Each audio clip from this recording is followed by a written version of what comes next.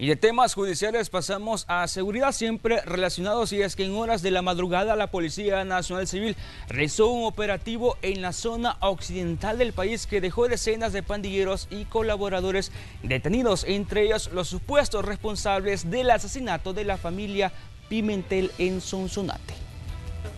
Llegaron hasta los municipios de Nahuizalco, Sonzacate, Huayúa e Izalco del departamento de Sonsonate. ¿Cuántos hay aquí? ¿Son ustedes? Pablo, quiero que afuera, por favor.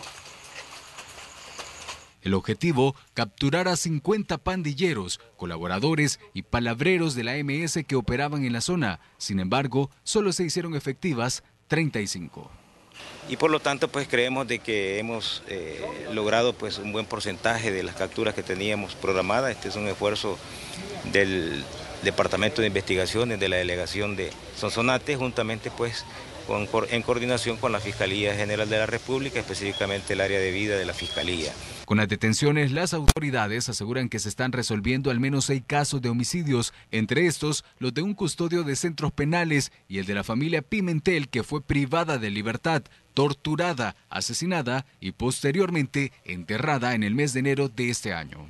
En esta misma estructura es la que se relaciona con con la privación y posterior muerte de, la familia Pimentel, si ustedes recuerdan, en, enero de este año.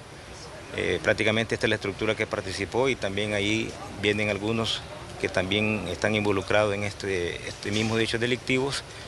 Con estas detenciones, las autoridades de seguridad dicen que están dando un fuerte golpe delincuencial. De junio a la fecha se contabilizan 13.902 capturas. De estas, 872 son por el delito de homicidio, 1.071 por lesiones, 626 por extorsión y 273 por violación. Con imágenes de José Delgado, Nelson Quinteros, Noticiero Hechos.